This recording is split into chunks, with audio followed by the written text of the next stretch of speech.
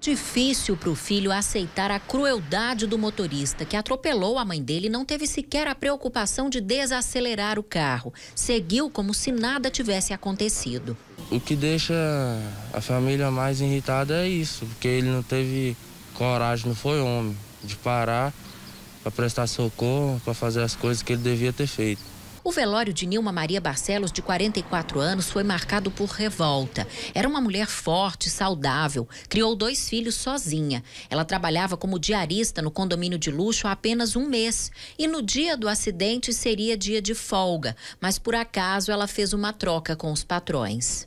Era independente, nunca quis ajuda de ninguém, sempre correu atrás do trem dela.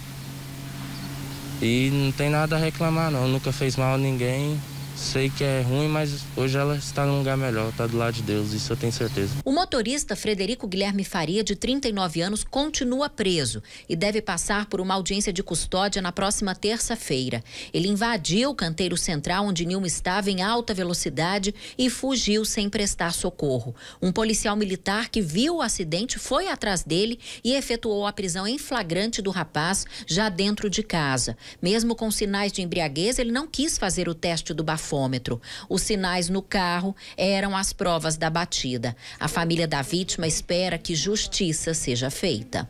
Nossa família, família Cardoso, junto com a família Borbas, clama por justiça.